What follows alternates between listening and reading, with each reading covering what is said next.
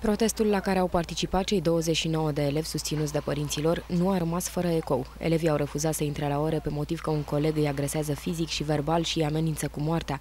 Părinții au încurajat manifestarea solicitând protejarea copiilor pe motiv că nu sunt în siguranță în clasă. Unul dintre elevii protestatari s-a mutat între timp la o altă școală. Scandalul a ajuns în atenția Ministerului Educației și Ministerului Muncii, care au reacționat imediat, spunând că nu poate fi organizată o manifestare împotriva unui copil, ci că trebuie găsite soluții pentru integrarea lui. Centrul European pentru Drepturile Copiilor cu Dizabilități a scris în reclamație că părinții și-au folosit copiii și pe colegii acestora ca instrumente de ură împotriva unui copil cu dizabilități.